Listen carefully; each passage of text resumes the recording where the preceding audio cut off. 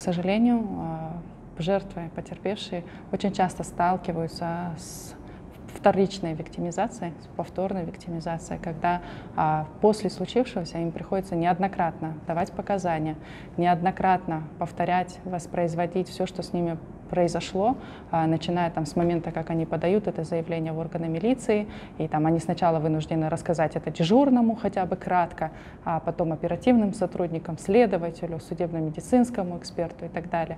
И не отработан вот этот механизм, а, чтобы в обязательном порядке эти показания депонировались сразу бы следователь обратился к следственному суде, тот задал необходимые вопросы, эти показания были, легли там, в основу дела, допустим, да, а, вот, и все, и потерпевшей не приходилось бы заново, заново, заново все это как бы проговаривать. После подачи заявления на, на, в отношении нее оказывается огромное давление, и там сторона обвиняемого постоянно приходит, пытаются с ней якобы примириться.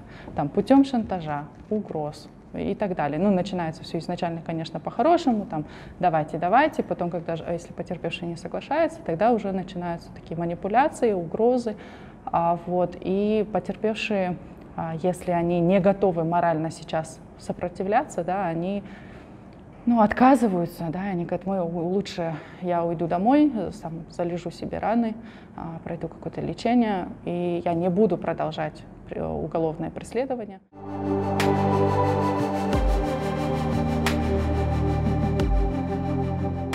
Уже привыкли к тому, что а, давление идет со стороны там, сотрудников правоохранительных органов, а со стороны там, обвиняемого и его родственников группы поддержки. Но на судебном заседании, когда адвокат обвиняемого а, говорит о том, что «а вы посмотрите на эту жертву, а это разве женщина?» А, вы, вы бы видели э, там квартиру, в которой она проживала. Там нельзя сказать, что там жила женщина, там, там хозяйка, мать и так далее. Там был бардак, а, там было не убрано в ванной, там где-то на кухне там остались какие-то там яблоки якобы и так далее. И вся речь адвоката была построена на, не на материалах дела, не на доказательствах, которые были собраны, да, не на опровержение этих доказательств, а именно а, личность потерпевшей. И это было настолько а, оскорбительно, унизительно для самой потерпевшей, когда, которая находилась в этот момент в зале судебного заседания, она все выслушивала это, и Потом, а что она могла сказать в свою, так скажем, она что должна была оправдываться, да? И получается, что а, потерпевшая была поставлена в ту ситуацию, когда в отношении нее еще на протяжении всех этих судебных разбирательств там, а, на нее оказывалось, совершалось в отношении нее уже, можно сказать, преступление, а, вот, и ей приходилось за каждое свое действие оправдываться. А, почему не кричала, а, почему не звала на помощь, а, почему плохо ухаживала за домом, а, почему перечила мужу, а почему в 12 ночи тебе хотелось спать, и ты просила его выключить свет, ну можно же было потерпеть и так далее. А, и весь, а, как бы, вся коммуникация строилась не в отношении обвиняемого, что он не должен был совершать преступление в отношении там, своей супруги, да, а, вот, а на том, что супруга должна была вести себя как-то иначе, а, как-то положительно, для того, чтобы ее не били.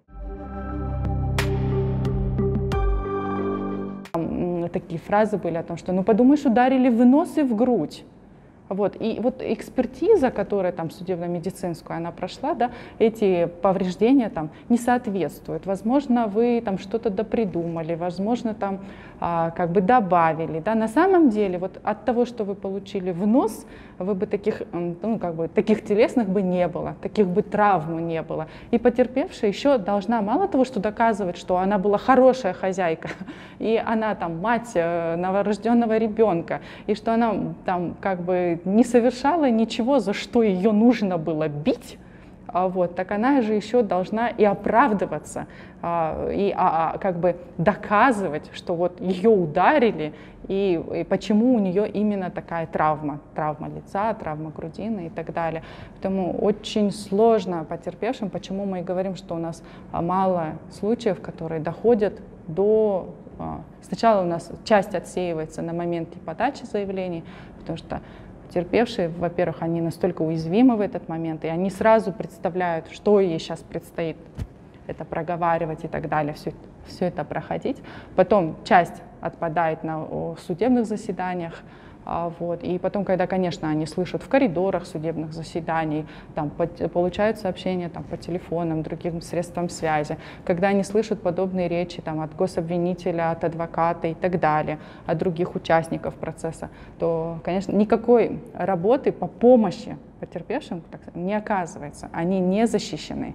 И они могут быть защищены только в случае, уже, если уже какой-то прям угроза физической расправы. А само психологическое давление на них, как правило, всерьез вообще не берется.